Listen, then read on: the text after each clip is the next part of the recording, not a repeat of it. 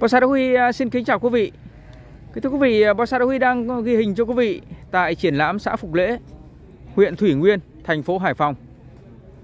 Nơi đây à, đang diễn ra triển lãm mà có rất nhiều những à, cây đẹp ở đây, những cây đẳng cấp ở đây. Và có một cái nhà vườn, có một cái phong cách, một cái lối chơi mà Huy đánh giá rất cao. Đó là anh Lê Hiệp tại Thủy Nguyên anh ấy tạo tác cây à, có một cái phong cách riêng của anh ấy mà cây nào cũng rất tự nhiên.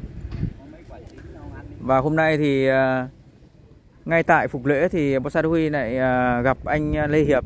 Chào các anh nhé dạ vâng chào các anh. Anh Lê Hiệp ngay trước mắt quý vị. Đã nhiều lần rồi em ghi hình những cái tác phẩm của anh nhưng chưa gặp anh. Thì hôm nay nhân đây thì anh có thể chia sẻ một chút cho quý vị yêu cây cả nước hiểu hơn về những cái phương pháp và cái cách làm của cái cách làm của anh. Và để làm sao ra được những cái tác phẩm đẹp tự nhiên này cái bộ răm tự nhiên này anh có thể anh chia sẻ một chút không? Thực tế là cái cách thì nó vẫn là cách cũ thôi. Vâng. mình thì có mình cắt lại và mình đẩy nó nó, nó truyền nó nhẹ lét ra vâng. Vào cái mình vừa vừa giật và giảm giảm uốn. Giảm uốn đúng không? Và giật nhiều đúng không? Nhiều. thế và anh có như, như, thế này thì anh phải như thế này thì anh chủ yếu anh co kéo phải không anh? Dùng dây vít là nhiều. Dùng dây vít là nhiều đúng không? Không uh, không không uh, uốn đúng không? Cái bộ răm em cảm nhận là rất là thanh thoát mạch lạc và tự nhiên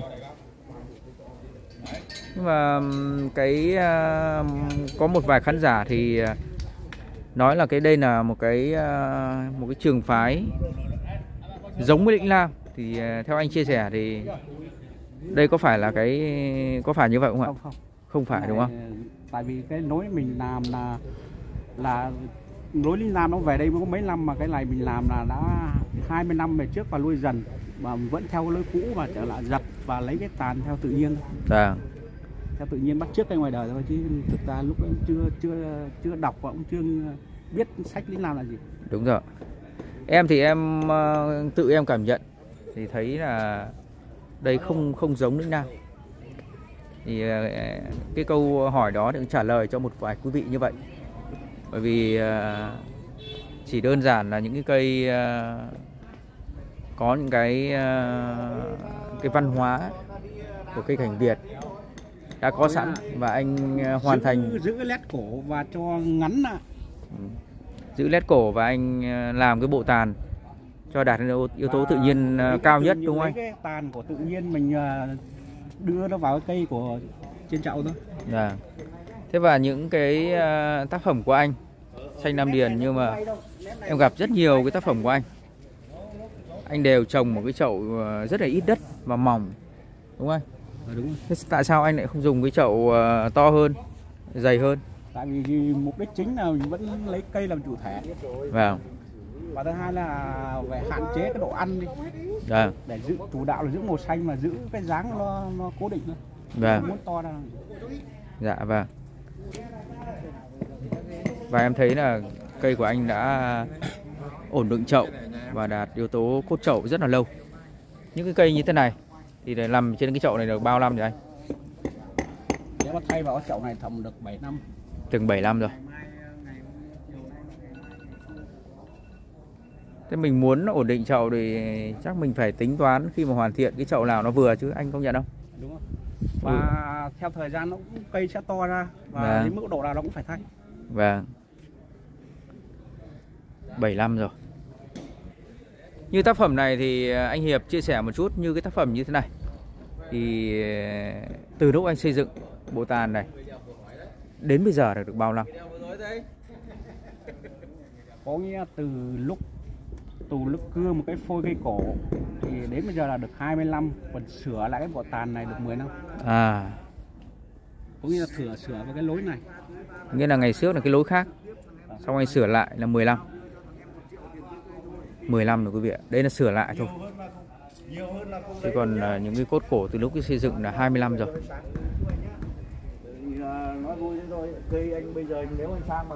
đây là một cái phương pháp một cái cách làm chúng ta đáng là học tập. Làm sao những cái cây khi làm xong phải có hồn phải đạt yếu tố tự nhiên. Thì một cái à,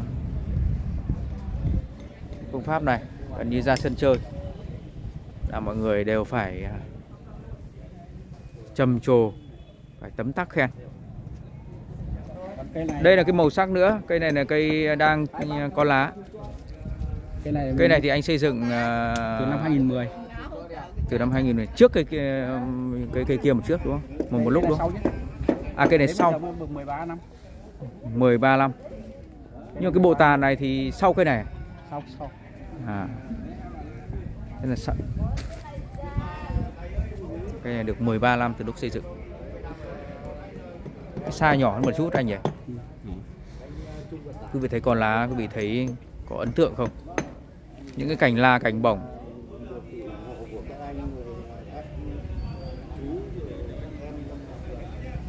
Nhìn thế này thì ai chả mê. Và từ lúc đó thì cây ở trong cái chậu này từ cái lúc ờ, anh bắt đầu anh xây dựng chứ anh Có nghĩa là cây này mua là nó là một cây của người ta cây cây cổ người ta chơi rất là lâu rồi. vâng Về là là cắt đi nuôi lại bộ tay. nhưng mà làm trong chậu được bao năm rồi anh Còn là thay vào chậu này thì mới thay được ừ, từ đợt ờ, đầu năm. À từ đầu năm là ở chậu nhỏ một chút. Nhưng mà em nghĩ là chắc là anh cũng chỉ nhấc cho cái, cái cả sang anh đặt cái chậu này đúng không? Đúng thì mới có những cái nét cốt chậu như này.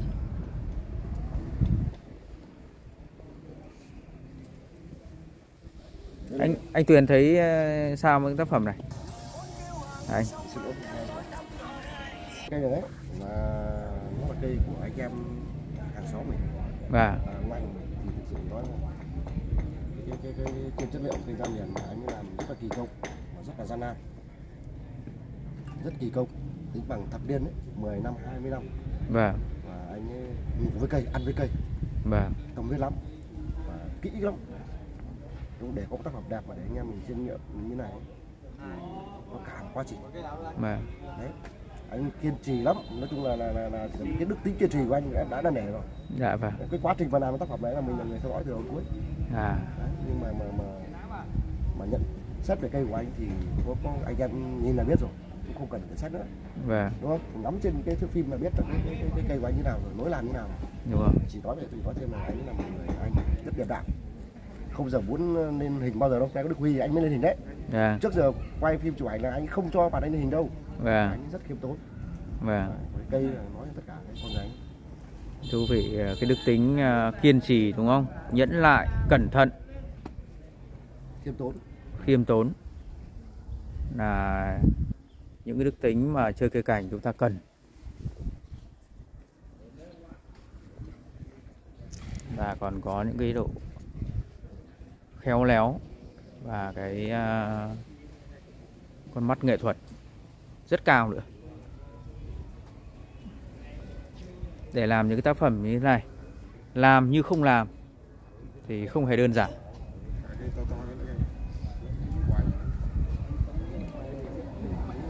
Làm như không, mới à, khó quý vị ạ.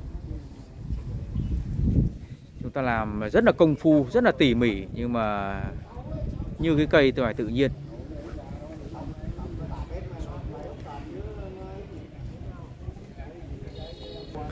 Đây cũng là cái phong cách của anh à, Lê Hiệp nữa.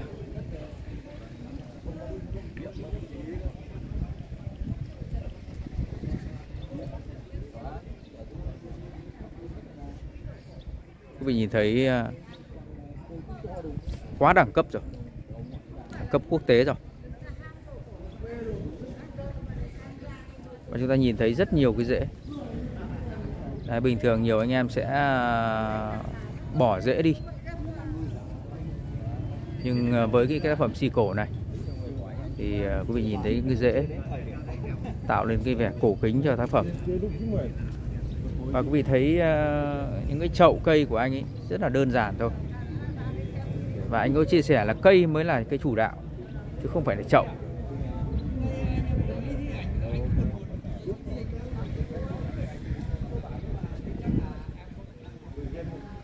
Và những cái cây xanh như cái si của anh ấy thì chậu rất là mỏng. Quý vị thấy ờ, cây rất là xanh tốt và cái led làm à, sao mà tự nhiên đến vậy? Chào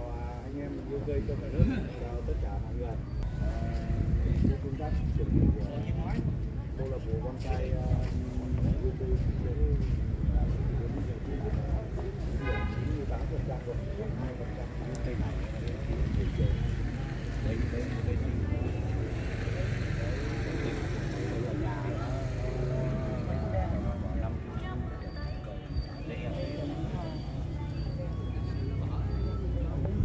quý vị ở đây là cái góc máy.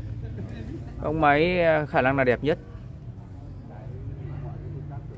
Một cái bầu trời trời xanh làm lên cho tác phẩm. Quá đẳng cấp quý vị ạ. Đẹp mê hồn.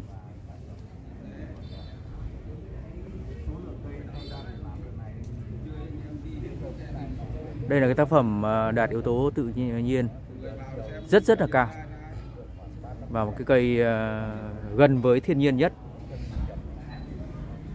Cái công sức các anh ấy bỏ ra rất lớn. Và cái thành quả đó là ngày hôm nay, một cái tác phẩm tự nhiên thế này.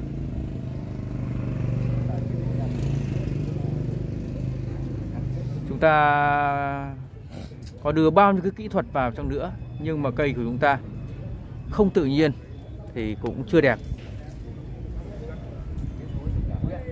Và Sa Đéc Huy phải nhắc lại là làm như không làm. Làm uh, đạt đến cái ờ, tầm này rồi. Thì uh, mới là nghệ thuật đỉnh cao. Đẹp quá quý vị ạ. Hôm nay ngay tại triển lãm phục lễ quý vị nhá. Và Sa Đéc Huy uh, bắt gặp những cái uh, tác phẩm của anh Lê Hiệp ở Thủy Nguyên. Chắc chắn là những cái lối chơi cái phong cách chơi của anh ấy, thì gần như là không theo một cái trường phái nào cả. Và anh ấy tạo tác, anh ấy nghiên cứu những cái cây ngoài thiên nhiên. Anh ấy tạo tác để những cái tác phẩm của anh ấy giống như cái cây ở ngoài thiên nhiên. Nhưng mà trong đó thì đưa rất nhiều những cái thủ thuật, những cái kỹ thuật vào.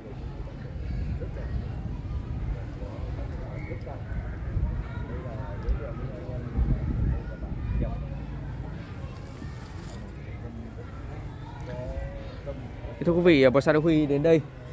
Xin phép quý vị được dừng lời đây.